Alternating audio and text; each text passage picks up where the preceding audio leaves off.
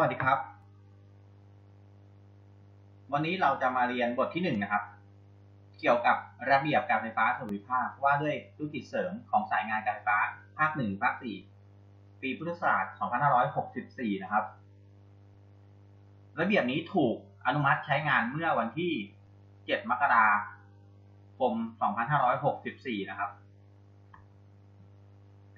ทำไมจะต้องทำไมจะต้องมีระเบียบธุรกิจเสริมนะครับ ก็ตามพระราชบัญญัติการจัดซื้อจัดจ้าง และการพัสดุ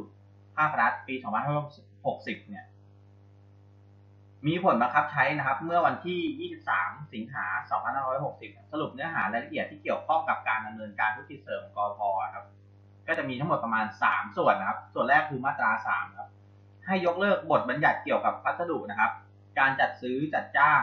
หรือการบริหารพัสดุในกฎหมายระเบียบข้อบังคับประกาศข้อบัญญัติ และ ข้อกำหนดใด ๆ ของหน่วยงานของรัฐที่อยู่ภายใต้บังคับแห่งพระราชบัญญัตินี้นะครับ มาตรา7นะครับ การจัดซื้อจัดจ้างของของรัฐวิสาหกิจที่เกี่ยวกับการพาณิชย์โดยตรงนะครับ จะได้รับการยกเว้นมิให้นำพระราชบัญญัตินี้มาบังคับใช้ ต้องเป็นไปตามหลักเกณฑ์ที่คณะกรรมการนโยบายกำหนดในราชกิจจานุเบกษานะครับ โดยกำหนดให้หน่วยงานของภาครัฐเสนอเรื่อง การจัดซื้อจัดจ้างใดต่อคณะกรรมการนโยบาย เพื่ออนุมัติให้ได้รับการยกเว้นเป็นรายกรณีไปก็ได้ และให้หน่วยงานของรัฐ จัดให้มีกฎหรือระเบียบเกี่ยวกับการจัดซื้อจัดจ้าง และการบริหารวัสดุตามหลักเกณฑ์ และแนวทางแห่งพระราชบัญญัตินี้ โดยอย่างน้อยต้องมีหลักการตาม มาตรมาตรแปดวรรคหนึ่งซึ่งมาตรแปดวรรคหนึ่งเนี่ยกล่าวไว้ว่า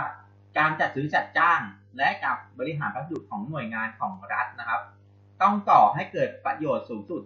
แก่หน่วยงานของรัฐนะครับ คราวนี้นะครับ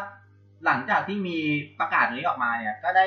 ประกาศใช้ในกิจจานุเบกษานะครับ เมื่อวันที่ 13 ธันวาพุทธศักราช 2560 นะครับ แล้วก็มีประกาศอีกหนึ่งครั้งนะครับ เมื่อวันที่ 5 เมษายน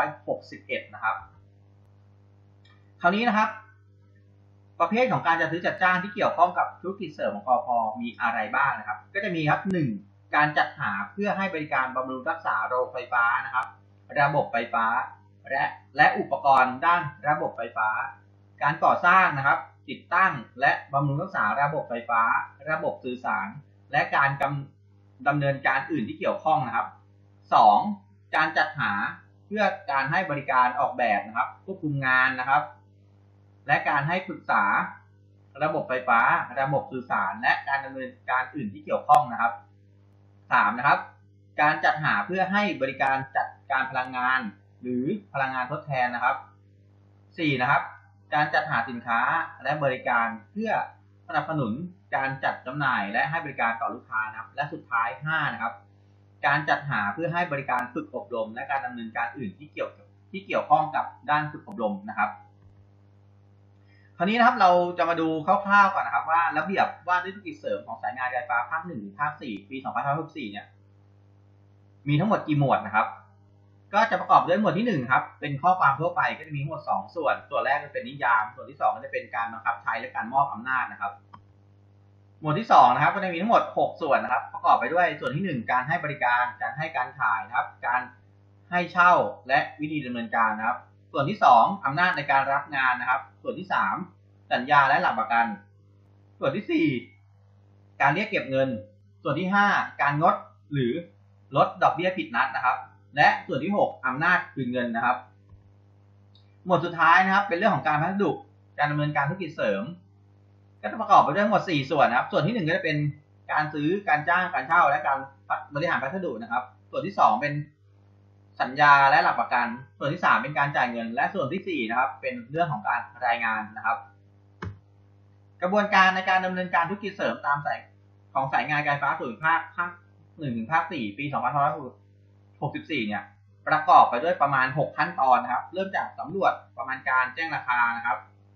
หลังจากนั้นแล้วเนี่ย ลูกค้าตอบรับการให้บริการและลูกค้าก็มาชำระเงินนะครับ หลังจากนั้น เมื่อลูกค้าชำระเงินแล้วเนี่ย เราก็จะทำการจ้างเหมาทั้งงาน หรือว่าจ้างเหมาจ้างเหมาบางส่วน หรือกพผู้ดำเนินการเองนะครับ พร้อมทั้งจัดทำสัญญากับผู้รับจ้าง ในกรณีถ้าเกิดเราจ้างเหมาทั้งงานหรือว่าจ้างเหมาบางส่วนนะครับ หลังจากนั้นดำเนินการ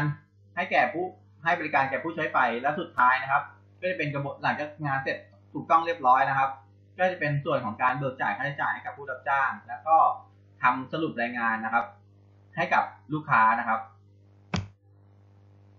ซึ่งทั้งหมดนี้นะครับ เป็นกระบวนการในการดำเนินการธุรกิจเสริมของสายงานการไฟฟ้าส่วนภาคภาคหนึ่งถึงภาคสี่นะครับ ปี2514ซึ่งรายละเอียดต่อไปเราจะดูในบทต่อไปนะครับ ขอบคุณครับ